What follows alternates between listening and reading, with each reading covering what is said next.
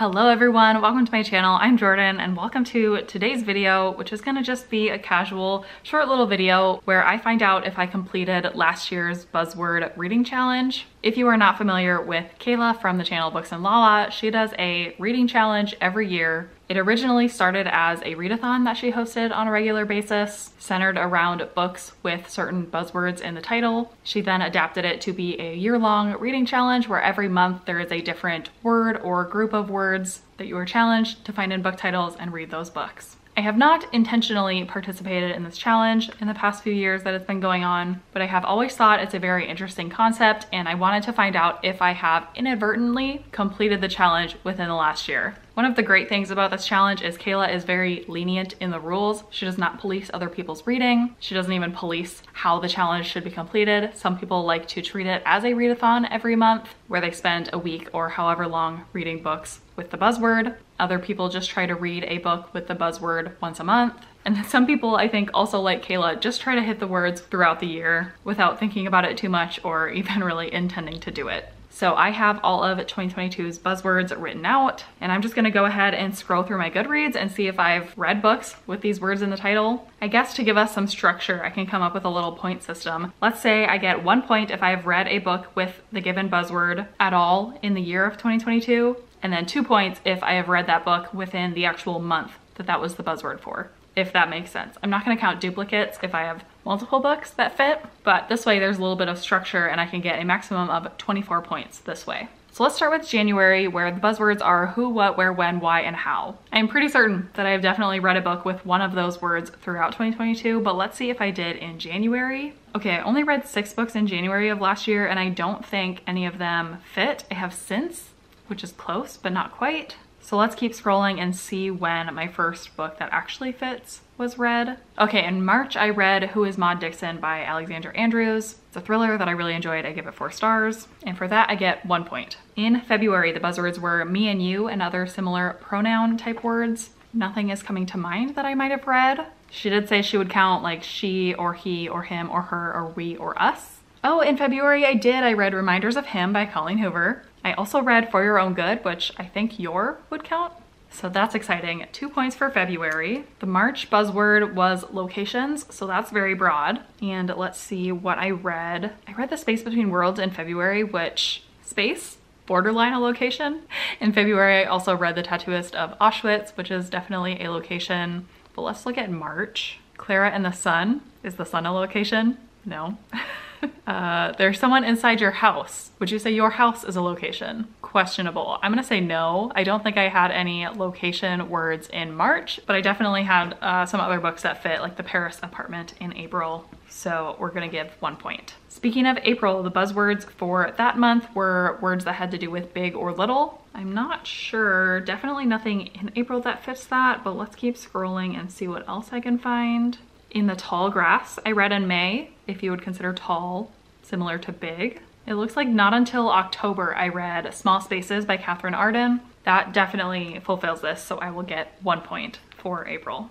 Okay, similarly in May, the category was directions, so that could be north, south, east, west. It could be up, down, left, right. I definitely don't think I have north, south, east, west, but I may have other directional words and I'm gonna have to scroll for a bit. When the sky fell on splendor. I don't think that's quite it. Fell is not a directional word. The Book of Two Ways. I don't think way is quite what we're looking for, but close. Carrie Soto is back. Would you say back is a directional word? This is tough when there's so much room for interpretation. The house across the lake, I feel like across is getting much closer to the realm of where we want to be for directional words. A house at the bottom of a lake, I do think bottom is also really close to what we're looking for. Okay, I'm not sure about this one. I think I'm gonna have to give myself like a half point because I think I'm stretching it a little bit, though I know she encourages being creative and stretching the words, but we're gonna go with half. In June, the buzzword is all, and I think it's the only month where it's literally one word that is the buzzword. You either have it or you don't. In February, I read Ophelia After All, so definitely one point for sure, but let's look in June specifically. Okay, another one up for debate. I read Falling by TJ Newman.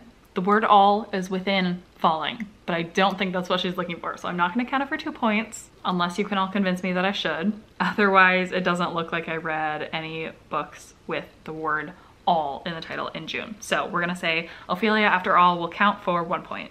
In July, the buzzword is bookish words, so that is pretty vague. Obviously, book would work, but also like library, pages, reading, bookshop. Let's see what I can find. Oh, The Woman in the Library I read in July. I'm definitely counting that. That would be two points. Also, I did enjoy that book and I don't get a ton of opportunities to talk about it. Okay, in August, the buzzword is items and objects. I'm gonna be surprised if I don't have any books that fit this in August, but let's see. Okay, we've got notes on an execution. I feel like notes is a pretty clear object. I also read Any Man and a Man is definitely an object. And also The School for Good Mothers, a school is also an object. It's also a place, but also an object. So I'm gonna say I get two points for that. In September, the buzzword is light and dark and any word that you can associate with that. This one is gonna be tough. I have the last to vanish. And if I really wanted to, I could say vanish is like going into the dark. I also read When the Sky Fell on Splendor in September, and sky I feel like has a lot to do with light and darkness. So, so hard, you guys, to be the one making the decisions all by myself. I also read Sundial in November, and the sun is definitely light. But do I have anything even clearer? Oh, okay, in January I read A Flicker in the Dark, which is like one of the actual buzzwords. So I think I'm gonna have to go with that and just give myself one point. In October, the buzzword is creatures and animals. And as someone who doesn't read fantasy and also doesn't really love animals that much, I'm not sure if I'm gonna have anything that fits this. But let's go ahead and look at October. Oh, Ghost Squad. That definitely counts, right? A ghost is a creature. And I also read In the Company of Witches. Witches are creatures. I feel like this counts and it's nice that this landed in October. I think that was intentional, but if I was ever going to read paranormal, spooky, creature-filled books, I guess it would be this month. So will give me two points. In November, the buzzword was any word that ends in ing, which I know I did earlier in the month. Like I said, I read Falling by TJ Newman. That definitely counts, but let's check November specifically. No, it doesn't look like I have anything else in November that ended in ing. So we're just gonna get one point for Falling. And then December, the buzzword is numbers, which I know I read in the year, but I don't know about in December. No, it looks like nothing in December, but I did read Book of a Thousand Days in September and One Word Kill also in September and The Book of Two Ways also in September. This would have been a much better buzzword for September, but for all of those, I'm going to get one point. So assuming I am okay in my little stretches here and there, I ended up with 15 and a half points. I'm actually pleasantly surprised. I hit more of these than I thought I would. I think only four of them were actually in the assigned month, but again, I didn't intentionally do any of this. So it's kind of fun to look and see that these books being buzzwords, they actually do show up in my reading naturally quite a bit. So now I'm wondering if I should intentionally do this in 2023 or if I should do a similar thing next year and look back and see if I naturally and accidentally hit the buzzwords again. I don't know. Let me know your thoughts on that and what I should do for this challenge going forward. Also, please let me know if you participate in the buzzword reading challenge every year or if you participated in the readathons back when they were more formally structured readathons and whether you participated or not.